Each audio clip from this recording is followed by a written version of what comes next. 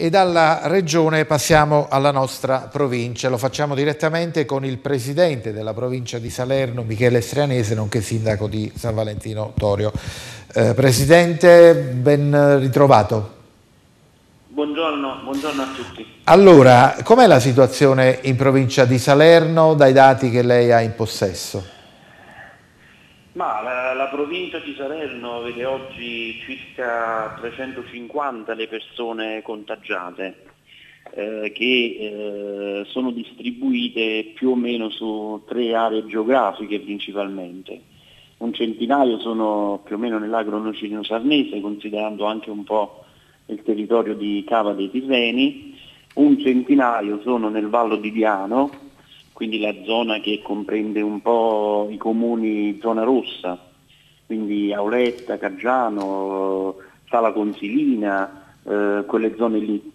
E un altro centinaio di, di contagiati sono un po' eh, sparsi su tutta la provincia con una concentrazione di 40, 40 unità circa sulla città di Salerno. Quindi diciamo che ci sono alcune zone abbastanza protette, alcune zone del Cilento, e ehm, abbastanza protetta anche la zona dei, dei Picentini, nonché la zona di, di, di Castel San Giorgio, Siano, Bracigliano, quelle zone un po' più collinari diciamo. Però purtroppo le zone più colpite sono quelle densamente abitate come quelle del lago Domicilio Sarnese, Cava dei Piseni e anche Salerno. Senta, eh, lei, ehm, prima abbiamo aperto il giornale dicendo che secondo le autorità sanitarie e non solo, anche le istituzioni amministrative, eh, indicano come questa settimana e la prossima quelle eh, che potrebbero essere ehm, come dire, quelle più importanti no, per l'epidemia. Eh, noi stiamo, anche noi come informazione stiamo lanciando l'appello che bisogna essere prudenti anche perché dopo due o tre settimane le persone iniziano a soffrire un po' di questa chiusura in casa. Qual è l'appello che può sentire, può lanciare il Presidente della provincia? l'appello è sicuramente quello a fare ancora sacrifici perché ci vorrà ancora qualche settimana per vedere, per vedere alleggerita qualche misura restrittiva. No? Eh, purtroppo si sta per raggiungere questo benedetto picco della curva delle, delle, delle, dei contagi, ma purtroppo diciamo, c'è ancora un andamento crescente dei contagi, seppur con una velocità eh, minore rispetto a prima. Questo fa pensare che ci vorranno almeno una, un paio di settimane ancora eh, che vivremo in queste condizioni, per cui l'appello è a fare sacrifici, a continuare a spingere eh, in questa direzione, quindi senza spostarsi, facendo solamente gli spostamenti strettamente necessari, perché altrimenti rischiamo di vanificare il buon lavoro che è stato fatto fino ad adesso. Pensate che in Campania ci sono oggi circa 2.000 contagiati, siamo in una regione da 6 milioni di abitanti. Il risultato è importantissimo secondo me e se non ci fossero state determinate prese di, eh, di posizione da parte del governatore De Luca eh, noi non avremmo avuto questi numeri, ma numeri molto molto peggiori. Pensate che in altre regioni sono ancora possibili, per esempio le consegne a domicilio, eh, sono aperti i parchi pubblici, è possibile fare attività ginnastica all'aperto, in Campania non è così, ci sono tutta una serie di misure più restrittive ed è anche grazie a questo che i numeri in Campania sono ancora gestibili, tra virgolette.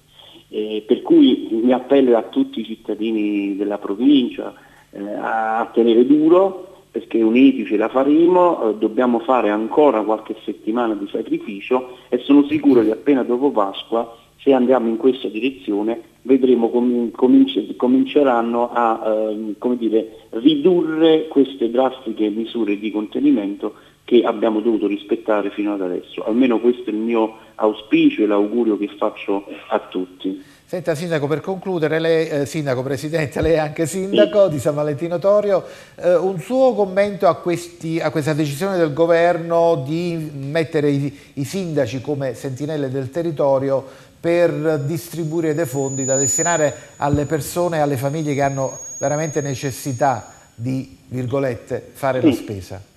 Ma è sicuramente una decisione giusta, questo è un, già un primo segnale eh, di sostegno pratico alle famiglie. e ovviamente come diceva anche il sindaco Torquato prima, insieme a tutti i sindaci dell'Associazione Nazionale dei Comuni Italiani stiamo cercando di avere un comportamento univoco, uniforme, stabilire una serie di criteri eh, semplici ma comunque oggettivi per erogare questi contributi spesa. San Valentino Torio per esempio ha avuto 108 mila euro di contributo per il sostegno alimentare, nei prossimi giorni presenteremo un avviso pubblico per, una volta stabiliti appunto i criteri insieme agli altri sindaci, che, eh, a cui tutti quanti potranno ovviamente partecipare e si erogheranno nelle prossime settimane, nei prossimi giorni questi buoni.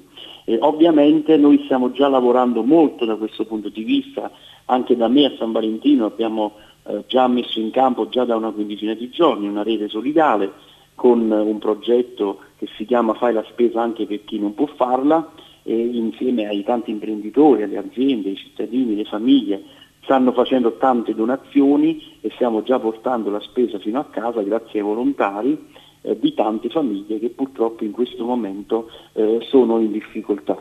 Per cui stiamo mettendo in campo tutto quello che possiamo, noi comuni viviamo momenti difficili di per sé, con i bilanci, con i problemi di cassa che sono noti a tutti, però riusciamo grazie alla solidarietà dei cittadini a dare risposte un po' a chi in questo momento si trova in difficoltà. C'è un sostegno dello Stato, secondo me è rilevante fino ad adesso questo, anche se dovranno essercene altri perché per i comuni sono stati erogati anche 65 milioni di euro per le spese di sanificazione e disinfezione eh, di tutti i territori, altri 10 milioni per incentivare eh, lo, il, lo, straordinario dei, dei, dei, della Polizia Municipale, per fare in modo che i vigili possano fare maggiori controlli nei territori. Ed ora c'è questo eh, come dire, questa erogazione dei 400 milioni di euro per un sostegno diretto alle famiglie. Se ci fossero nei prossimi giorni altre iniziative simili, sono sicuro che ce la faremo, sarà diciamo, dire, un,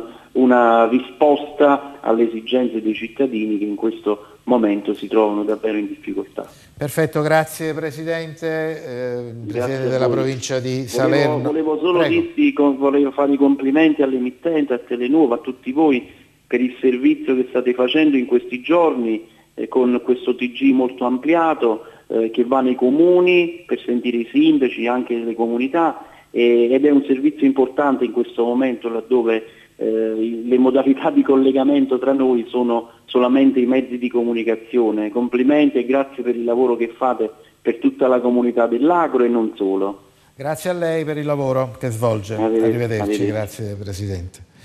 Allora, ehm, adesso facciamo invece, avremo una schermata tra poco in cui facciamo un po' una sorta di riepilogo delle, eh, dei casi positivi nell'agro nocerino sarnese, giusto per capire anche eh, l'entità eh, che eh, viviamo tutti i giorni, eh, se la regia è pronta vediamo questa, questa grafica, l'aggiornamento è a ieri sera quando la, appunto la protezione civile della regione Campania emette eh, i dati scafati con 19 persone positive a Covid, Pagani sono 12, Sant'Egidio del Monte Albino 13, Sarno 8 insieme a San Marzano con altri 8, Angri 5, San Valentino Torio 4, Nocera inferiore ne ha 12, Nocera superiore un solo caso positivo. Questa è la situazione a ieri sera alle 22.